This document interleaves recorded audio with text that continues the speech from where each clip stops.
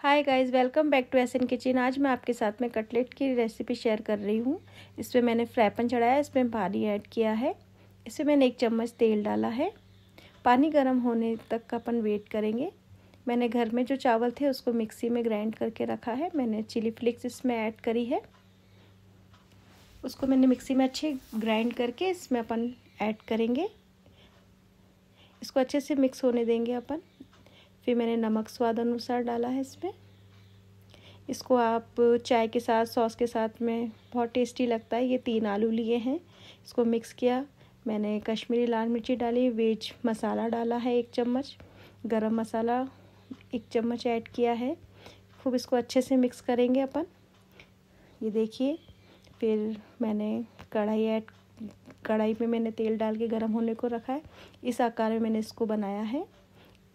अच्छा golden fry होने तक का वेट करेंगे। मेरी रेसिपी बन के रेडी हो गई है। आपको कैसी लगी? प्लीज़ लाइक करना। Thank you